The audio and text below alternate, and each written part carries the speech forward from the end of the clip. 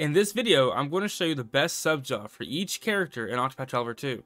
Hikari's best secondary job is the Arms Master.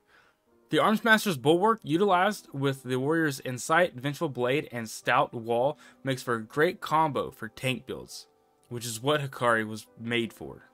Abide, paired with Lion's Heart's Axe, is probably one of the highest damage dealing pairs in the game. Agnea's best secondary job is the Inventor, the Inventor job has some of the best single target buff debuff skills such as Springy Boots, Critical Scope, and Arkara's Coil. Also, Agnea's Latent Power allows the Inventor's single target skill to instead target all foes or all allies. Osvald's best secondary job is the Cleric. Having Cleric as a secondary job allows for Osvald to cover fire, ice, lightning, and light, making you versatile when it comes to elemental attacks. Mystical Staff and Inner Strength are good skills for Osvald because both of them give him SP, allowing him to use more of his elemental skills during combat. And also, if you're new here, be sure to like and subscribe to the channel for more Octopath Traveler 2 guides and how-tos, along with some other games that I'll be covering in the future. Temenos' best secondary job is Scholar. This combination allows him to deal damage while also supporting his allies with mitigation and healing.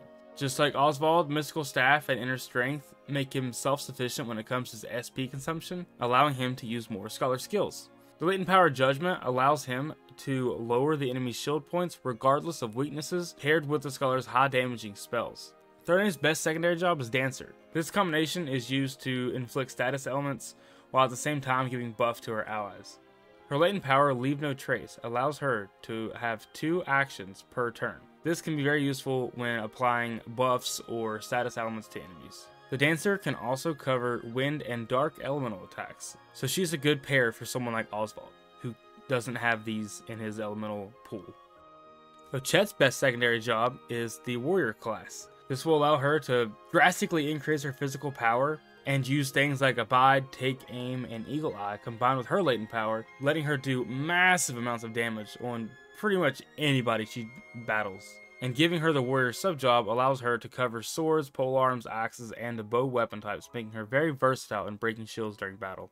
Castti's best secondary job is the cleric. This will allow her to cover all of her weaknesses, since she's a single target healer and support. Having cleric as her secondary job will allow her to access mitigation skills and heal the entire party, which she cannot do without the cleric subjob.